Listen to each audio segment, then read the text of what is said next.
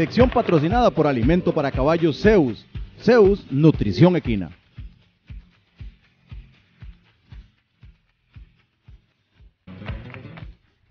Copa Zeus, como les decíamos, Santa Rosa de la Rita de Pocosí. Caballos trotadores en primer término. Quiero decir que Copa Zeus ha venido subiendo cada vez más la cantidad y la calidad de participantes. Por eso es eh, el éxito de los últimos eventos. Ven ustedes la cantidad de gente que se inscribió. Un excelente trabajo por parte de la comunidad, doña Jenny. Ahí era la que hacía las inscripciones y de verdad que muy bien organizados ellos. La verdad que casi todo lo tenían listo. Ahí está Pablo Castillo, a quien se le dedicó el evento de Colono Comercial, Pablo, de Colono Agropecuario, perdón, Pablo Castillo. Ahora sí, nos vamos a los trotadores. La primera participación que tenemos es nada más y nada menos que de Rómulo Bonilla. Nos presenta Sultán. Este caballo es hijo del legendario faraón y de la marquesa, es costarricense de paso, 5 años de edad y es propiedad del mismo Rómulo Bonilla. Ahí lo tienen ustedes trabajando excelente ese.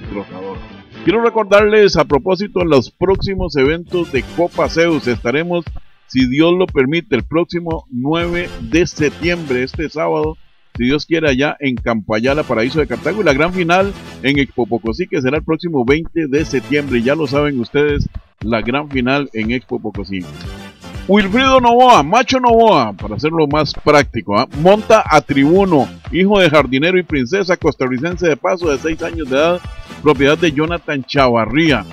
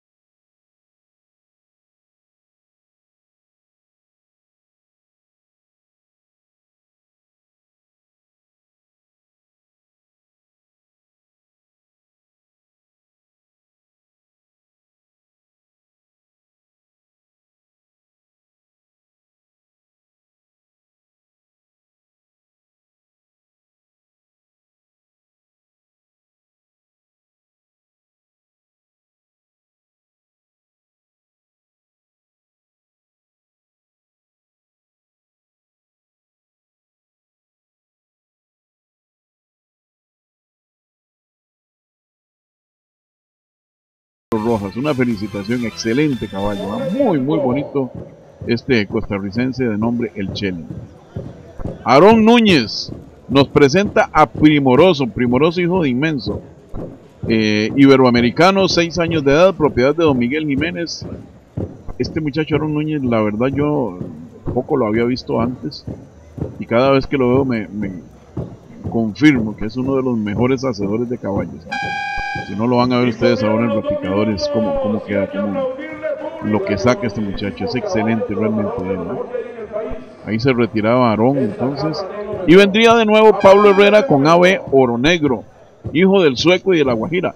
Ambos los hemos visto ya antes en otras competencias, pero en muy buena forma. Costarricense de paso, este caballo Ave Oro Negro, 7 años de edad, propiedad de don Alan Badilla. uno de los, Alan Badilla y Rómulo Bonilla Rómulo como montador, Alan como dueño de caballos, son los de mayor participación en Copa Cedos definitivamente. Una felicitación porque son muy entusiastas, le ponen mucho cuidado a las cosas, insisten mucho, corrigen sus caballos para llevarlo a la próxima. Y si no, pues se darán ustedes cuenta ahora, el final de este caballo que resulta pues victorioso, lo van a ver ustedes al final. De nuevo Rómulo Bonilla, ahora montando a Lorena, hija de Coris y de Marquesa, costarricense de paso, 10 años de edad y propiedad de Edgar Alvarado. Esta Lorena también ya reconocida, yegua bien definida arriba, trotando en la tabla.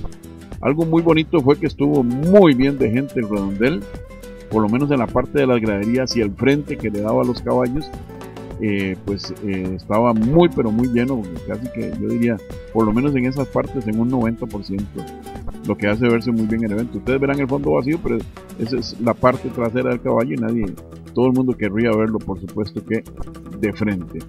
Ramiro Mora nos presenta a Novelero, hijo de Galeno, costarricense de paso, 6 años de edad, propiedad de don Daniel Gamboa.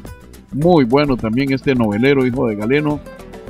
Ven ustedes qué bien y aquí es importante la toma que se hace de las extremidades del caballo, que es lo que realmente golpea duro este caballo, buena forma, bien definido, muy muy bien citado este novelero montado por Ramiro Mora.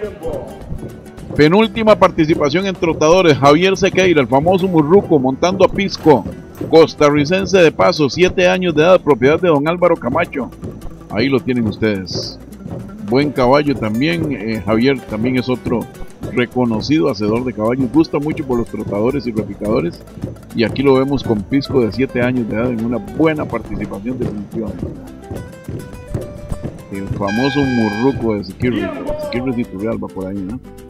Bueno, y entonces los jueces decían, tomaban decisiones, don eh, José Ramón Molina y Miguel Musmani, y deciden que el caballo ganador al final de cuentas sería Oro Negro, montado por Pablo Herrera. Aquí lo tienen ustedes. Fue un caballo que además de tener muy buenas condiciones, elevaciones, fijeza, le da duro al suelo, es un caballo que se mantuvo muy firme todos los dos minutos. Segundo lugar, José María Bonilla en Gladiador.